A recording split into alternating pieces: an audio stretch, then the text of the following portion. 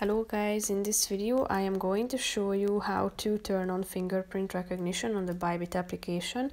But first I just want to mention, don't forget to subscribe to my channel because at 10,000 subscribers I am going to show you my whole YouTube revenue statistics and growth strategy, how to make money online. So let's jump into it. First of all, open the app on your phone. After your homepage, tap on the profile icon in the upper left corner of the screen then you should scroll down and tap on security. Scroll down again till you find the fingerprint recognition button and uh, tap on it. After that you should uh, scan your fingerprints for ID verification after you are done it will be turned on automatically as you can see.